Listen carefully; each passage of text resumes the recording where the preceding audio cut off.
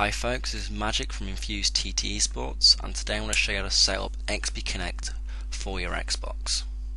So first of all, we need to sign up and download on their website. So if you're not signed up yet, just click on register now on the right hand side. Once you've done that, click on downloads. You'll see there's two versions, skinned and skinless. Uh, both get the same John Durden, but I've clicked on skinless. I've already got the program downloaded, so I'm just going to click cancel and install this. There's several ways of setting this up with your Xbox. The two most common ways are having your Xbox wired and your PC wired directly into your router, or having your PC wireless and your Xbox connected wired into your PC and your connection bridged. In this video, I'm only going to be setting you up for your PC and Xbox wired into your router.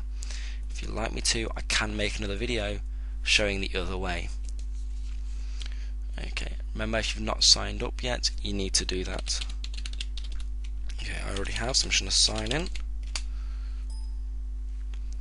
And we've got a few things to check that are set right, and then we're all done. So just need to go to Tools, Options, General Options, and tick Use Win PCAP. And make sure your latest version is installed, and click OK. Another thing we need to do is either configure your firewall to work with XBConnect or disable it. I'm going for the easy option of disabling it, so I've disabled Kaspersky and my Windows firewall. Um, if you're someone who wants to just configure it, there are tutorials on the XBConnect website of showing you how to do that. So, next thing to do is to check we've forwarded the ports. If not sure how to do this, I recommend going to kitz.co.uk. The link will be in the description, where you should find your router. So if it's a BT, D-Link, etc., you'll find the default login details, so username, admin, password, Sky for Sky routers, and the link to get to the web page. So go ahead, click, type in the details. I should already have this set up when I last played XBConnect. Let's just check though. Yep, I have. So 8602 is the port, and you need to have both protocols to check, well, ticked.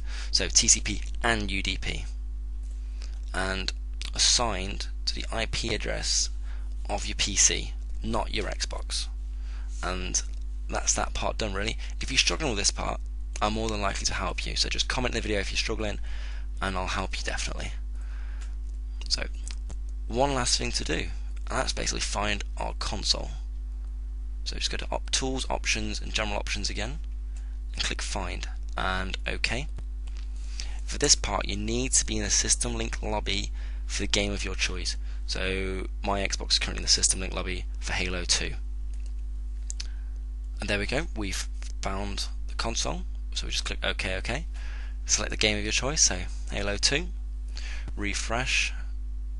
And then choose the game you want to join. Um, these two blue lights should be flashing.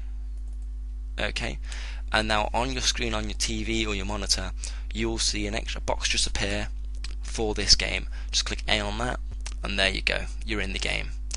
Uh, that's all. Remember if you have any problems leave a comment and I will definitely help you. I hope this video has helped you and check out more videos on our channel coming soon. Bye